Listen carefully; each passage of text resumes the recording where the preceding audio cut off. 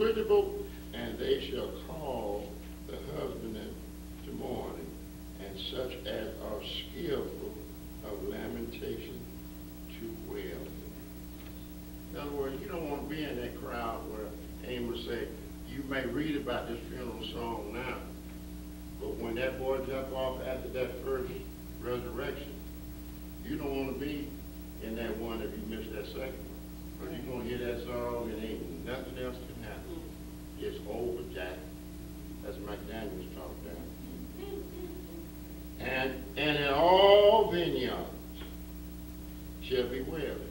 Have you not read Revelation? They said they're going to have some folks say, boy, let the mountains fall on me. Yes, sir. Because I was a fool. I believe that nonsense, and now I'm ashamed. For I will pass through thee, saith the Lord. Woe unto you that desire the day of the Lord. Mm-hmm. To what end is it for you? Mock the day of the Lord. The day of the Lord is darkness and no light. Why you want to be so hung up out there at them false lights and don't have the light in your life? Well, Pastor, Well, God said, you are what? The light of the world. As if a man did flee from a lion. See, when you're out there on your own, I'm about through now. I want you to see this. This is not Pastor making this up. I'm not going to finish all this today, but I want to finish this so you know. You're going to flee. Now look what he said. Woe to them in that day, the darkness. And look at that 19th verse. As if a man flee from a lion. Okay, you're supposed to know better. And a bear meeting. Oh, God said to keep playing around nothing I can do for you. Or went, went into the house and learned and leaned his hand on the wall and a serpent bit him. Mm-hmm. yes, sir.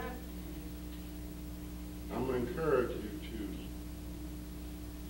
read the rest of Amos down to 27 in the light of what God has given us.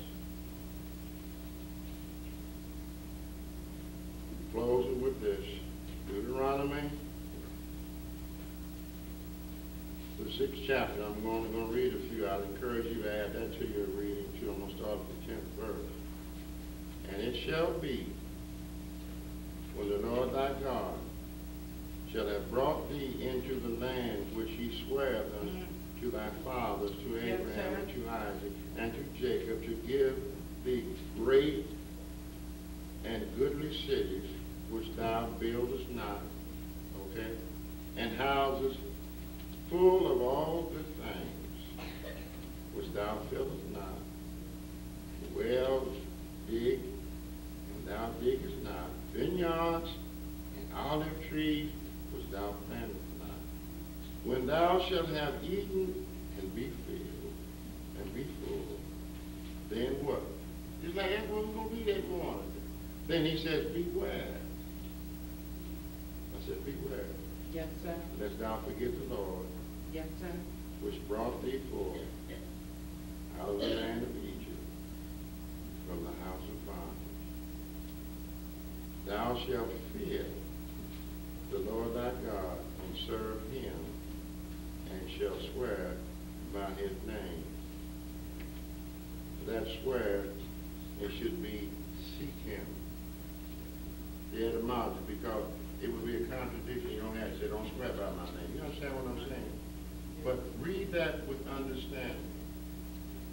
The etymology, in other words, no matter what, if I'm full, if I'm not full, if I got, if I don't got, may not be good, you just tell him, Lord, I love you.